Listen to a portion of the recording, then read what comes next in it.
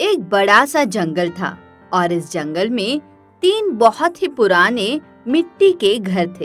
ये घर सदियों से ऐसे ही थे। जंगल की गहराई में ये घर होने की वजह से यहाँ लोगों का आना जाना बहुत ही कम होता था। लेकिन उस रात कुछ सैनिक एक पंडित को अधमरी अवस्था में वहाँ फेंक देते हैं और आपस में बात करते हैं।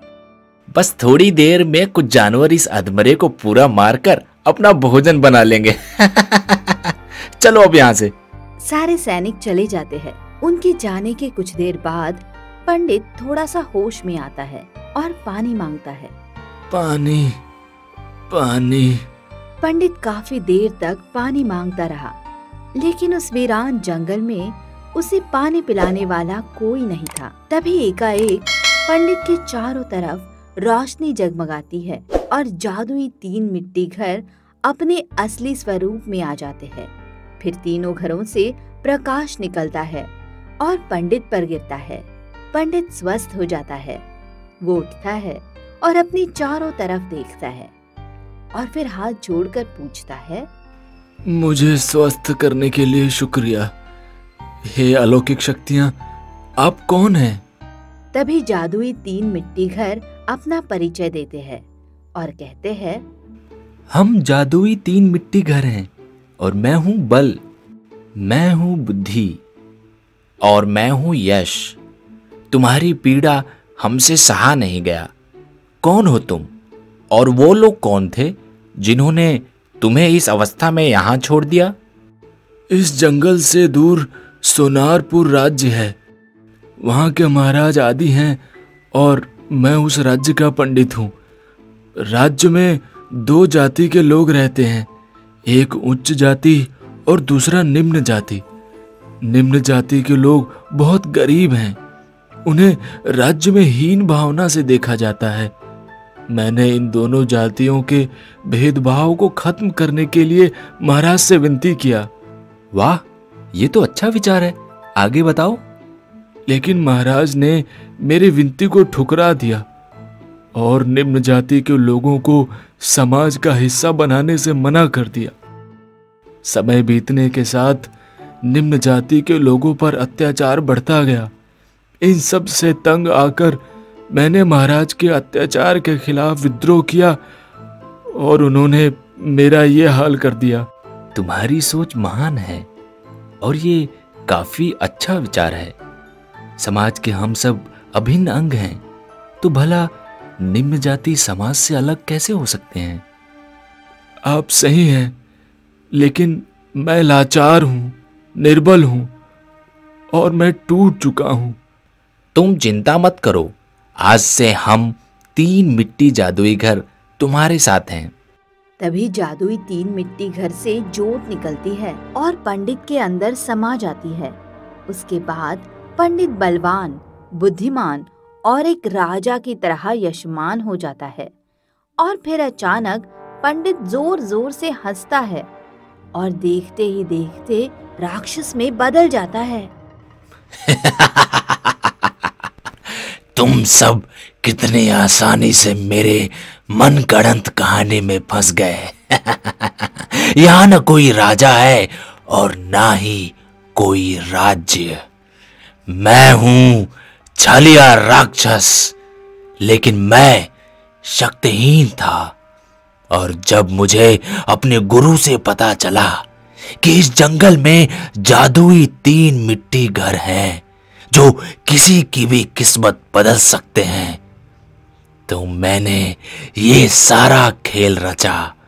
अब मैं अपने शक्तियों से पूरे गाँव को खत्म कर दूँगा और फिर हम राक्षस अपनी दुनिया बसाएँगे।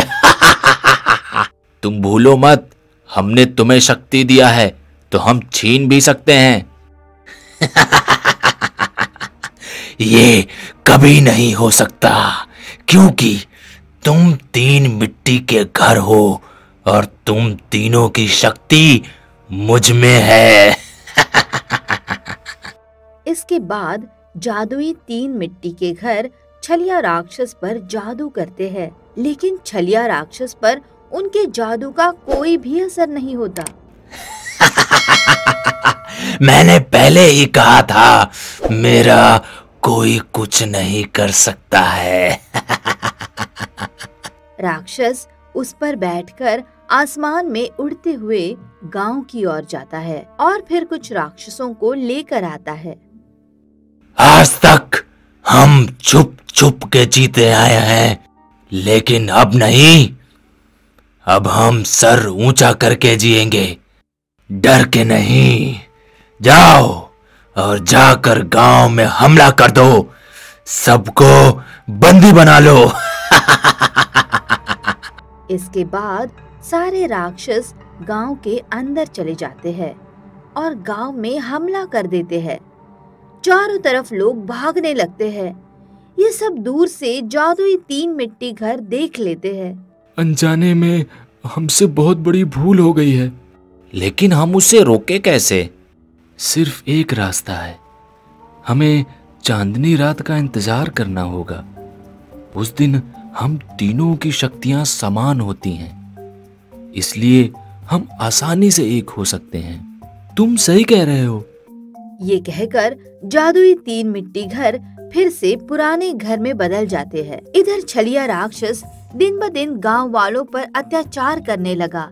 वो सबको जंजीरों में बाँध कर रखता था। अगर कोई उसके इच्छा के विरोध काम करता था तो वो उसे मार डालता। देखो, इस बार खेती अच्छी होनी चाहिए। याद रहे, अगर किसी ने भी काम में कोई भी कमी की तो उसका अंजाम बहुत बुरा होगा। तो अभी कौन सा अच्छा हो रहा है? हम तुम्हारे नौकर बन गए हैं। हमारी पत्नियाँ तुम्हारी दासी और हमारे बच्चे तुम्हारे खेलने के समान। हाँ हाँ ये सही कह रहा है। वैसे भी खेती करके क्या होगा जब हमें भर पेट खाना ही नहीं मिलेगा? चुप करो। अगर और एक शब्द किसी के मुँह से निकला तो याद रखना आज के बाद आधा पेट खाना भी नहीं मिलेगा। और फिर सब भूखे मरोगे। इसलिए हम जैसा कह रहे हैं, वैसा ही होना चाहिए। नहीं तो सब मरोगे। बेचारे गाँव वाले मजबूर थे। वे ना चाहते हुए भी राक्षसों का गुलाम बनकर जी रहे थे। कुछ दिन बाद चांदनी रात आ जाती है और जादुई तीन मिट्टी घर अपने स्वरूप में आ जाते हैं।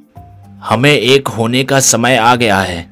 हाँ चलो अब हम एक हो जाते हैं। इसके बाद जादुई तीन मिट्टी घर एक हो जाते हैं और फिर जादुई मिट्टी घर से तरंगे निकलती है जिसके कारण छलिया राक्षस खींचता हुआ जंगल के अंदर जादुई मिट्टी घर के सामने आ जाता है। ओह तो मुझे यहाँ लाने की तुम्हारी चाल थी। चाल? चाल तो तुमने किया था और इसलिए हम तीन जादुई मिट्टी घर एक हो गए हैं ताकि हम अपनी गलती को ठीक कर पाए। अच्छा तो तुम लोग मुझे हराओगे। इसके बाद छलिया राक्षस जादुई मिट्टी घर पे तरह तरह की जादू करता है लेकिन उसका कोई भी जादू जादुई मिट्टी घर पर काम नहीं करता। बहुत हो गया। अब हमारा जादू देखो। तब जादुई मिट्टी घर छलिया राक्षस के शरीर से सारा जादू खींच लेता है। उसके बाद उसे जलाकर राख कर देता है।